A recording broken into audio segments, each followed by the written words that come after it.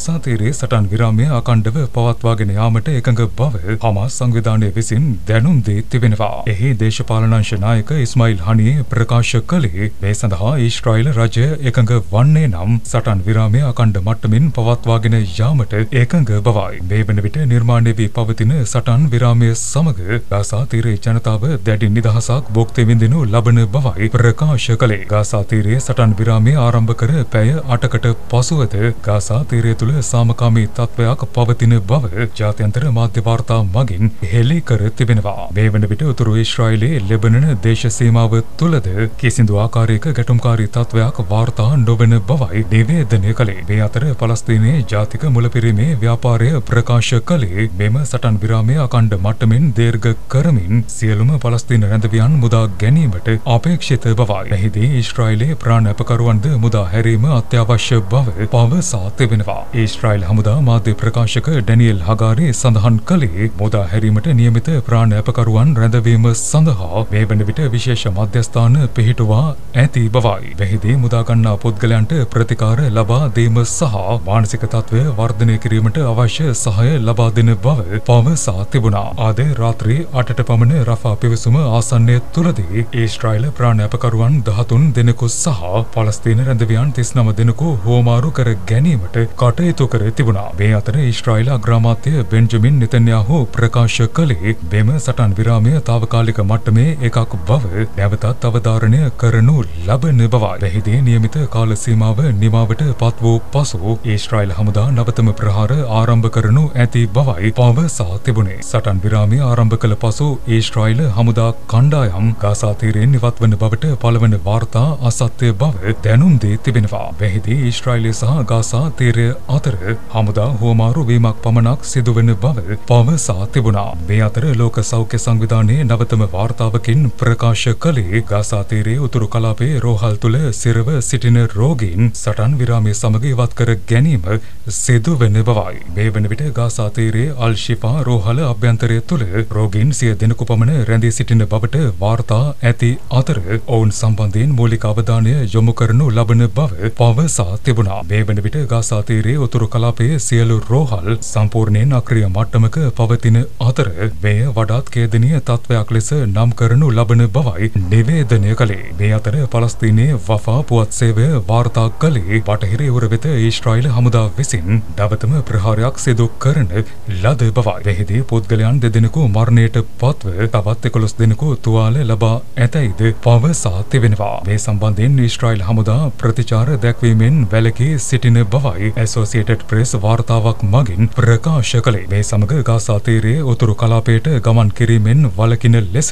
Israel හමුදා අනතුරු ඇඟවීමේ නිවේදන නිකුත් කරන බව දැනුම් දී තිබෙනවා. මේ දක්වා ගාසා තීරයේ යුද්ධය අවසන්ව නොමැති බැවින් ගාසා තීරයේ උතුරු කලාපයට ගමන් කිරීමෙන් වළකින ලෙසයි ගුවන් මගින් පත්‍රිකා හෙළමින් දැනුම් දී තිබුණේ. ජාත්‍යන්තර රතුකොරස සංවිධානයේ නිවේදනයක් මගින් ප්‍රකාශ කළේ සටන් විරාමය ආරම්භ කර පැය කිහිපයක කාලයක් තුළ රෆා පිවිසුම හරහා ආධාර සහිත ට්‍රක් රථ 85ක් ගාසා තීරය වෙත ඇතුළු වූ බවයි. මේ සමග ගාසා තීරයේ රෝහල්වල භාවිතය සඳහා ගිලන් රථ දෙකක්ද ලබා දීම සිදු කරන ලද බව පවසා තිබෙනවා. මෙහිදී රෆා පිවිසුම සම්පූර්ණයෙන් විවෘත වීම සමග මේ දක්වා ඊජිප්තුවේ සිරව සිටි පලස්තීන ජාතිකයන් රැසක් නැවතත් ගාසා තීරය වෙත ඇතුළු වෙමින් සිටින බව පවසා තිබෙනවා. මේ අතර පලස්තීන ජනපති මහමුද් අබ්බාස් ප්‍රකාශ කළේ මෙම සටන් විරාමය අකණ්ඩ මට්ටමින් ක්‍රියාත්මක කරන ලෙස සියලුම පාර්ශවයන් වෙත දැනුම් දෙන බවයි. මේ සමග පලස්තීනය වෙත සම්පූර්ණ පිළිගැනීමක් ලබා දෙමින් ඉතිහාසගත අසාධාරණයක් නිමාවට පත් කරන ලෙස දන්වා තිබුණා. දකුණු චීන මුහුදේ පිලිපීනයේ සිදු කරන මුර සංචාර සඳහා ඇමරිකානු හමුදා සම්බන්ධ කර ගැනීම සම්බන්ධයෙන් විරෝධය පළ කරන බව චීනය විසින් දැනුම් දී තිබෙනවා. චීන හමුදාවේ දක්ෂිණ විධානය අද පෙරවරුවේ නිවේදනය කළේ දකුණු චීන මුහුදේ මතභේදාත්මක දූපත් ආසන්න කලාප තුළ මෙම ඇමරිකානු සහ පිලිපීන මුර සංචාර සිදු කර පැවති බවයි. මෙම අර්බුද සාකච්ඡා මගින් විසඳා ගැනීමට චීනය තැත් කළද මෙය ගැටුමක් දක්වා වර්ධනය කිරීමට පිලිපීනය තැත් කරන බවයි නිවේදනය කළේ. මේ සම්බන්ධයෙන් පිලිපීනය කනගාටුව පළ කළ යුතු අතර මෙවන් ක්‍රියා නැවතත් සිදු කිරීමෙන් වැළකිය යුතු බව පවසා තිබුණා. නිවේදනයක් නිකුත් කරමින් පිලිපීන රජය ප්‍රකාශ කළේ දකුණු චීන මුහුදේ ස්ප්‍රැට්ලි දූපත් ආසන්න කලාප තුළ වෙම ඒකාබද්ධ මුර සංචාර සිදු කළ බවයි. මෙය පිලිපීනේ සම්ප්‍රදායික මුහුදු කලාපය වන බැවින් මේ සම්බන්ධයෙන් චීනයේ අවසරයක් අපේක්ෂා නොකරන බවයි නිවේදනය කළේ. මෙහිදී මුර සංචාර සිදු කළ පිලිපීන නෞකා තුනක් වෙත ඇමරිකානු යුද නෞකාවකින් ආරක්ෂාව සපයා පැවති අතර මේ සම්බන්ධයෙන් විරෝධය පළ කිරීමට චීනයට අයිතියක් නොපවතින බව පවසා තිබෙනවා.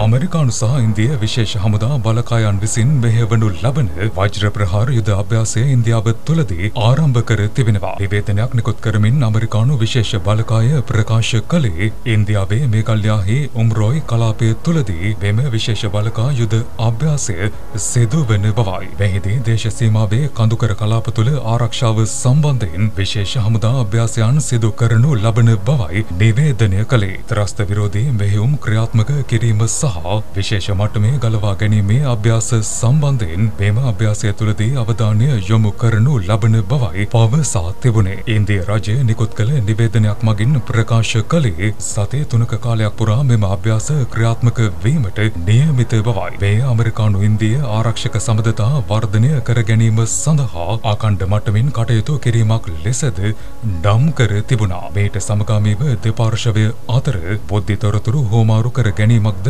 සිදුවන බවයි නිවේදනය කළේ. දකුණු කොරියාව සමග දේශ සීමාවේ අවි පද්ධති ස්ථානගත කරන බව උතුරු කොරියාව විසින් දැනුම් දී තිබෙනවා. උතුරු කොරියාවේ KCNA වාර්තාවක් මගින් ප්‍රකාශ කළේ දේශ සීමා කලාපයේ ආරක්ෂාව තර කිරීම සඳහා මෙම පියවර අනුගමනය කරමින් සිටින බවයි. දෙරට අතර 2018 යුද මුක්ත කලාප ගිවිසුම අතහැර දැමීම සමග මෙම නවතම ආරක්ෂණ පියවර අනුගමනය කරන බව පවසා තිබෙනවා. මේ සමග දේශ සීමාව ආසන්න කලාපය තුළ ගුවන් ගුවන් නිරීක්ෂණ මෙහෙයුම් නැවතත් ආරම්භ කරනු ලබන බවයි දකුණු කොරියානු රජයේ වාර්තාවක් මගින් ප්‍රකාශ කළේ. මෙය සිය රාජ්‍යයේ ආරක්ෂාවට තර්ජනයක් ලෙස සලකනු ලබන බැවින් දේශ සීමාවේ ගුවන් ආරක්ෂණ පද්ධති සවිකරන බවයි උතුරු කොරියානු වාර්තා මගින් සඳහන් කළේ. මේ අතර උතුරු කොරියානු නායක කිම් ජොන් උන් කියා සිටියේ පසුගියදා දියත් කළ ඔත්තු බැලීමේ චන්ද්‍රිකාව උතුරු කොරියාවේ ආරක්ෂාව තහවුරු කිරීමේ පියවරක් බවයි. මෙමගින් කිසිදු පාර්ශවයකට තර්ජනයක් මතු නොවන බව බව දැනුම් දී තිබෙනවා.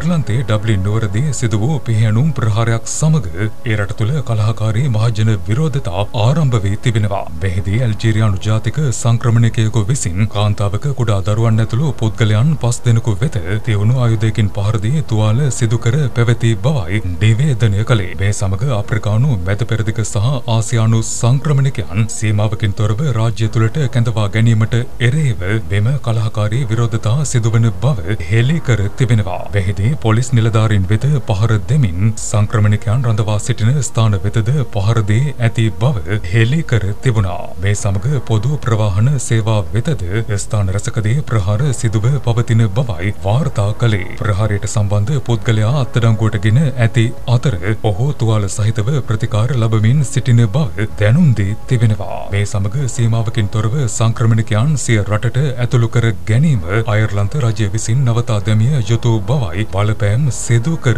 තිබුණේ. මේ වන විට මතුව පවතින කලහකාරී තත්ත්වයන් නවතා දැමීම සඳහා කැරලි මර්ධන කණ්ඩායම් කැඳවා පවතින බව අයර්ලන්ත රජය විසින් දැනුම් දී තිබෙනවා. ලොව වටා වැදගත් පුවත් දැනගන්න ලංකා ඒ නිවුස් සබස්ක්‍රයිබ් කරන්න. නවතම වීඩියෝ සඳහා පහත සීනුවේ බොත්තම සක්‍රිය කරන්න.